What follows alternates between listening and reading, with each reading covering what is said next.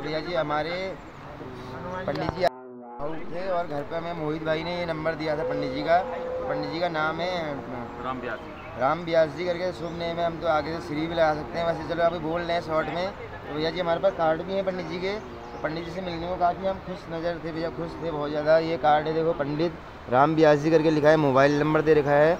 तो बाबा जी के परम भक्त हैं बाबा जी अभी उनके अनुभव जानते हैं बाबा जी के उनसे। तो साक्षात बाबा जी हिसाब से मैंने उनकी जब फेस टू फेस अभी मिले फेस देखने के बाद भैया ऐसा लगा कि साक्षात नीम करौली बाबा जी हमको मिल गए हैं, इस कलयुग में भैया। फेस से ऐसा लगा कि और भैया उनके भावनाएँ, उनकी गुणवत्ता जो है मतलब काफ़ी अच्छा नेचर है, काफ़ी अच्छे हैं और काफ़ी शिक्षित हैं, ज्ञानी इंसान हैं। तो भैया जी उनसे दो अनुभव जानते हैं और पंडित जी से मिलते हैं, देखो, आपको वीडियो में देख मैं राम ब्यास जी हूँ। मेरा नाम राम जी है। मैं दिल्ली में रहता हूँ। और बाबा महाराज हमारे वैसे बेसिकली हम यूपी के रहने वाले हैं चंबल के किनारे के यूपी बॉर्डर है वहाँ का रहने वाला हूँ बाबा महाराज के पास गई और बाबा महाराज के साथ हमारे बाबा बारह साल रहे थे। और बा, मेरे बाबा को महाराज जी ने महात्मा का नाम दिया था। भारतीय दीदी के तुम महात्मा हो जाओ। और बाबा महाराज के की आज्ञा के बिना एक बार सूखा पड़ा हुआ था तो बिना आज्ञा के बाबा मेरे बाबा ने पानी बरसा दिया था बाबा जी का नाम लेके। फिर बाबा ने उन्हें आदेश दिया कि तुम गाँव जाओ अपने और वहीं रहना गाँव से बाहर कभी मत निकलना। हाँ। तो बाबा महाराज ने कहा हम तेरे घर आएँगे। हैं? खुद हाँ, आएँगे। हाँ। तू नहीं इधर उधर जाएगा। हाँ। तो बाबा महाराज हमारे घर आते थे हमने बाबा के पैर भी दबाए। और जब मैं बहुत छोटा था हाँ। तो बाबा महाराज आते रहते तो बाबा हमेशा कहते रहते थे कि तेरे घर में ना एक भगत है। हाँ। मेरे बाबा से कहते रहते थे तेरे घर में एक भगत है एक ब्रह्मचारी है। हाँ। तो हमारे हमें बाबा महाराज कम से कम दस बारह साल बाबा जब गुजर गए थे हाँ। उसके बाद सपने में आ जाते थे कंबल उड़े हुए। हम्म, तो मैं अ, बड़ा परेशान रहता था कि बाबा म, मेरे पास क्यों आते हैं? डर जाता था बच्चा हाँ, था मैं। हाँ, तो मैं बहुत डरता था फिर हाँ। बाबा महाराज मानते नहीं थे। हम्म, और जब मेरी शादी हो गई उन्नीस सौ चौरासी में उसके बाद बाबा फिर कभी नहीं आए। हम्म, मेरे मेरे सपने में कभी नहीं आए। फिर मैं उन्नीस सौ छियानवे में यहाँ आया था मंदिर में दर्शन करने। अप्रैल उन्नीस सौ छियानवे में हाँ, पहली बार कैंची में आया था। हाँ, मुझे जब बताया था मेरे पर कि ऐसा ऐसा मंदिर है बाबा का नींव करोड़ी हमें नहीं मालूम था कैंची में बाबा ने मंदिर बनवाया क्योंकि हमारे वहाँ आसपास बहुत मंदिर है बाबा के। हाँ, तो उन्हीं तक हम सीमित थे। फिर बाबा के महाराज के बारे में हमने जानने की कोशिश करता रहा हम लोगों से कहे कि यहाँ कल्याण होता है। क्योंकि बाबा महाराज की कई ऐसी बातें थी हमारे बाबा बताते रहते थे कि उनकी कोई बात कही उनका नाम लेके भी कोई बात कह दो तो वो सत्य हो जाती थी हाँ, और बाबा महाराज की एक भी बात कभी झूठी नहीं हुई। जो भी बाबा महाराज ने बात कही नीव करौली वाले बाबा ने जो भी बात कही हम्म, वो सब सत्य हुई। हाँ, और बाबा महाराज का जो है ना इतनी लोगों लोगों लोगों के अंदर श्रद्धा थी हम्म, पर बाबा महाराज को कोई पहचान नहीं पाया। नहीं साक्षात हनुमान जी हाँ। ये कोई नहीं पहचान पाया। और ये मेरे बाबा पहचानते थे हनुमान जी। आपने ये बात बताई ना जैसे अंग्रेज़ लोग आते थे पहले से वो जानते थे बल बाबा जी की शक्ति। मेरे मेरे बाबा अच्छी तरह जानते थे हाँ। पर इसलिए मेरे बाबा ने मेरे बाबा को न्यू करौली वाले बाबा ने अलग कर दिया था हम्म, कि तू जा और गाँव से बाहर मत तो बाबा जीवन भर उन्नीस सौ तिरानवे में मेरे बाबा की मौत हुई बाबा की तिहत्तर में हुई। हम्म, तो बाबा कभी गाँव से बाहर नहीं गए हाँ। उनके कहे अनुसार उनकी मौत के बाद भी नहीं गए।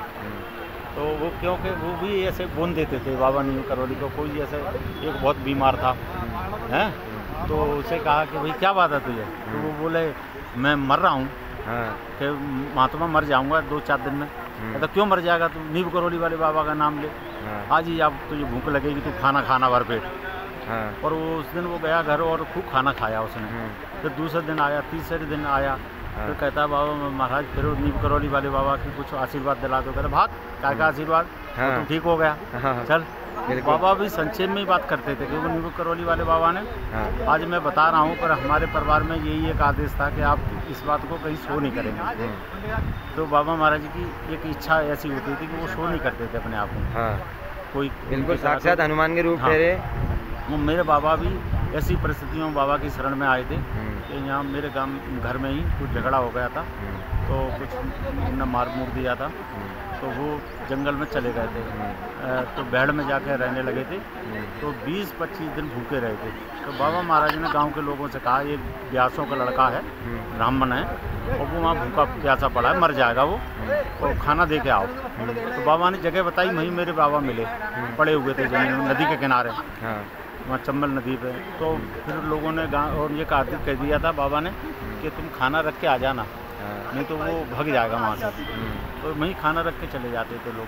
तो। धीरे धीरे बाबा ने मेरे बाबा को नीम करौली वाले बाबा ने मेरे बाबा का महात्मा नाम रख दिया। हम्म, तो महात्मा के नाम से वो बहुत प्रसिद्ध हो गए। प्रसिद्ध हो गए हैं। और उनने बाबा के कहे अनुसार मतलब बिगर कहे अनुसार कहे अनुसार तो क्या हो- होगी इच्छा उनकी। हम्म, सूखा पड़ रहा था पानी बरसा दिया था। हम्म, पर बाबा ने अपने ऊपर नहीं लिया था नीम करौली वाले बाबा ने। मेरी बाबा को दोष दिया कि तू क्यों इंद्र के बीच में आ रहा है? हाँ। भाग तू जा अपने घर।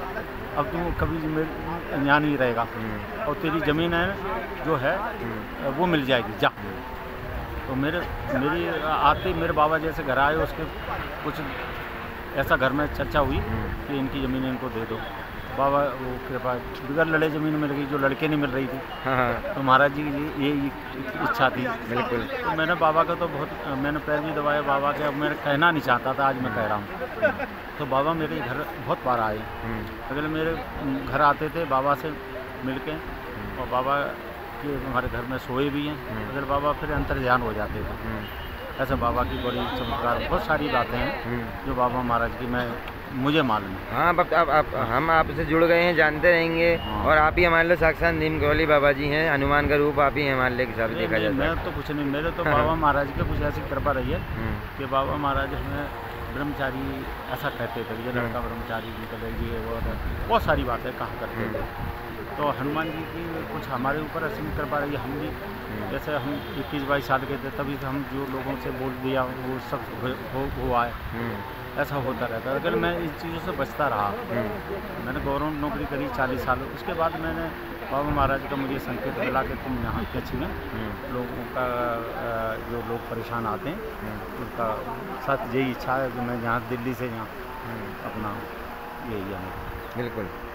तो दोस्तों आपने जानकारी पूरी ली साक्षात नाम बाबा जी के बारे में बता रहे हैं हमारे राम व्यास जी पंडित जी। तो भैया जी साथ साथ इनने हर चीज़ जो बताई है हर चीज़ सच बताई है और भैया जी बचपन से बाबा जी को देखा है इनने।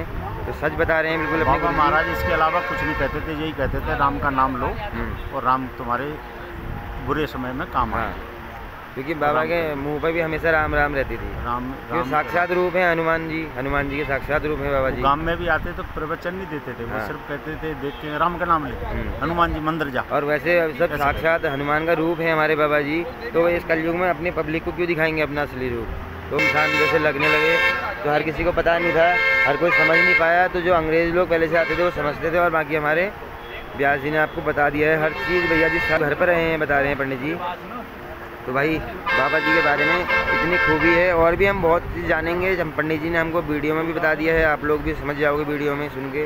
हम भी समझ गए हैं बाबा जी के बारे में। अभी कई सारी ऐसे रहस्यमयी बातें हैं तो जो पंडित जी हमें बताएँगे धीरे धीरे और हम मिलते रहेंगे पंडित जी से दिल्ली जाएँगे फरूखाबाद इधर बाबा जी का जो स्थल है जहाँ पर उनका घर था। ट्रेन रोकी बाबा ने। हाँ जहाँ ट्रेन रोकी थी ऐसी जगह हम सारी आपको शूट करेंगे और वीडियो में देखने को मिलेगी आपको। तो बने रहना रविंद्र जोशी ब्लॉग पे। तो पंडित जी के बारे में आपने जान ही लिया है। तो भैया जी पंडित जी से आज का ब्लॉग समाप्त करवाते हैं। जय श्री राम। जय श्री राम। जय कैची राम। जय श्री राम। जय जय हनुमान जी।